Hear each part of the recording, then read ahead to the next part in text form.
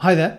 In this short video, I want to try and evaluate some of the policies that might be used to improve living standards in the UK.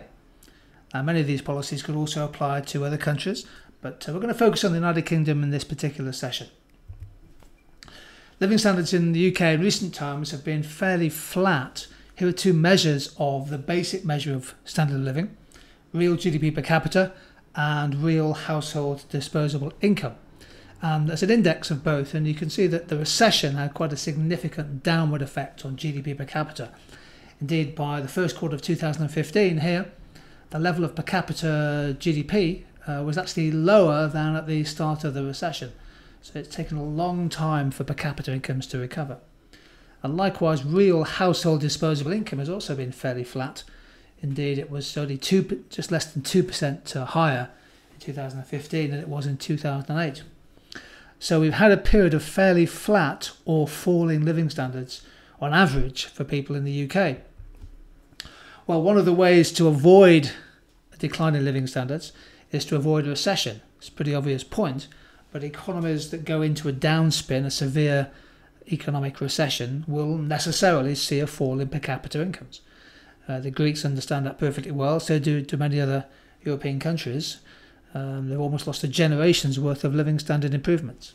So my first point will be have macro policies in place which help to absorb economic shocks, keep the economy growing at a level which is just above, hopefully, the rate of growth of population to drive per capita incomes higher, not lower. The other point I want to emphasize before I go through my six policies is that productivity really does matter. If you're revising demand and supply side policies, productivity becomes critical to any long term discussion.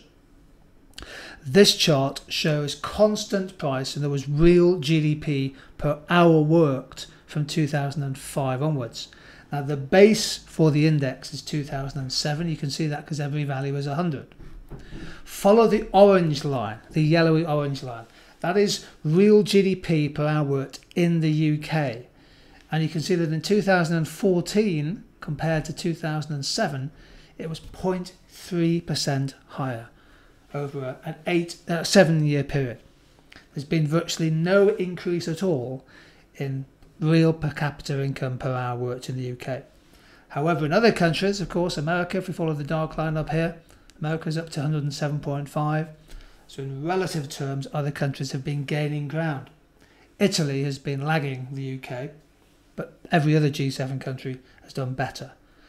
So, our relative productivity performance has been poor, and that is a key factor holding back living standards. I want to just talk you through what I think are six key strategies to improve living standards.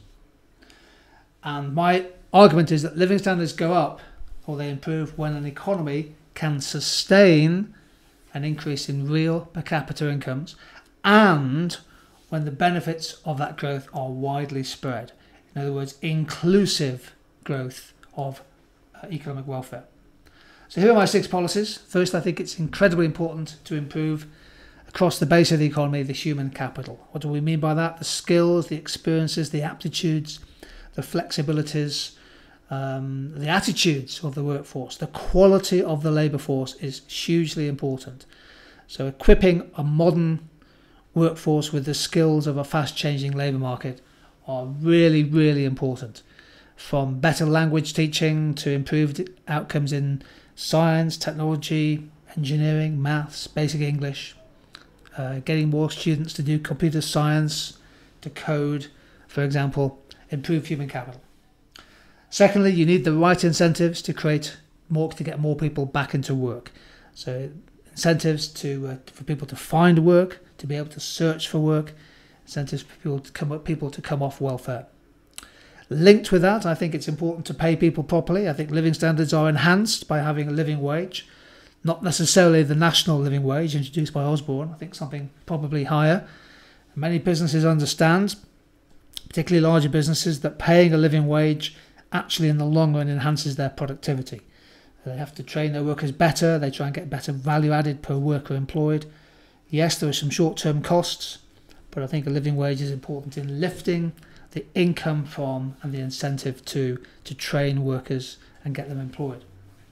living standards is not just about GDP per capita. Living standards is also about people having access to high quality, affordable public services. So I think it's particularly important for the government to, to maintain levels of government spending in education, in healthcare, in transport, the public goods and the merit goods that, that a modern society needs.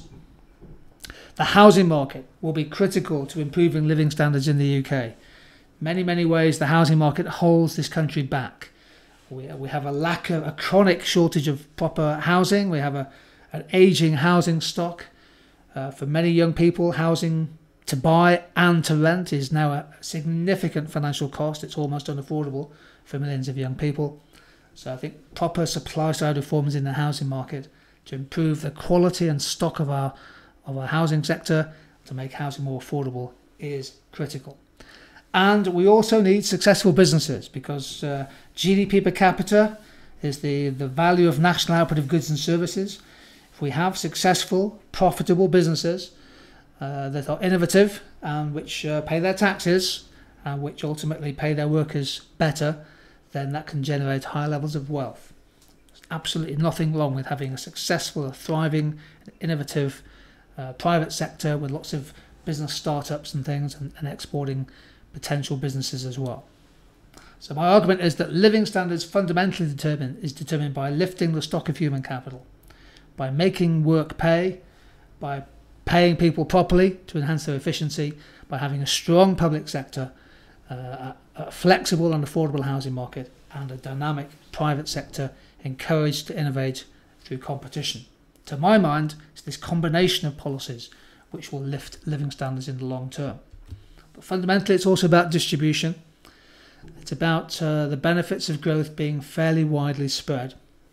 This data shows uh, various four measures of inequality in the UK, and uh, it's um, this is disposable income in the UK. And actually, in recent times, the, both the Gini coefficient um, and the the ratio of the income of the 80th percentile to the 20th percentile, and the, the ratio of, of the 90th to the 10th, and the Palma ratio. We've covered all these measures of income inequality in, in other topic videos. There has been a modest fall in the index of inequality in the UK just in recent years. Much of this, the big rise in inequality happened in the late 1970s and into the 1980s. So if we can lift per capita incomes, and if we can moderate the scale and depth and persistence of relative poverty, I think we're going a long way to raising living standards for the mass of people. Those were my own personal perspectives on some demand and supply side policies to improve living standards in the UK.